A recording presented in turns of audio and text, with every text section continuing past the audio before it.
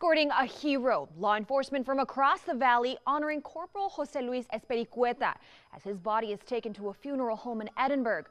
Right now, the family is working on funeral arrangements. Good evening, I'm Maribel Gonzalez in for Nicole Hickel and Chris Jacobs.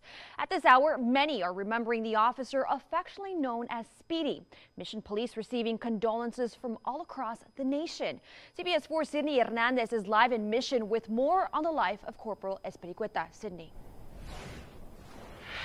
It happened right here outside of the Mission Bell Resort off of Stewart Road, where Corporal Jose Luis Espericueta made the ultimate sacrifice for his community. You can see a flag is being flown right outside of the RV park in his honor. A community in mourning after losing a man who served and protected them for 13 years.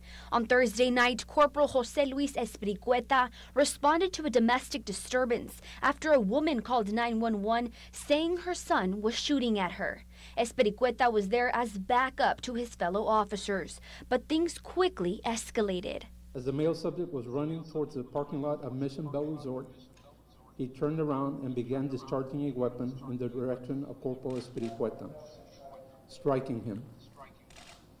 Espericueta was taken to a local hospital but was pronounced dead shortly after. The alleged shooter, Juan Chapa, had a lengthy criminal history. He's been arrested multiple times since 2007. Police say Chapa was killed after officers shot back at him. Unfortunately, what we see in our communities, not only here, but throughout the nation, is the number of officers being killed in the line of duty and a lot has to do with that. And uh, so we look forward to looking at this for the future. Chief Robert Dominguez says the senior supervisor was loved by all his brothers and sisters in blue. We affectionately call them Speedy here at our department.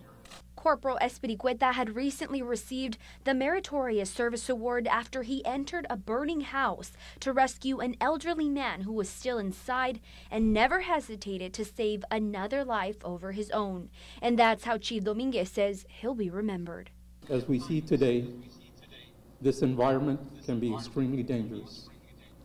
Our thoughts and prayers go out to his family, first and foremost, and also to the brothers and sisters that have the privilege to work along him over the last 13 years. The Texas Rangers are investigating this case. Reporting live in Mission with complete Valley coverage, Sydney Hernandez, CBS 4 Valley at 5.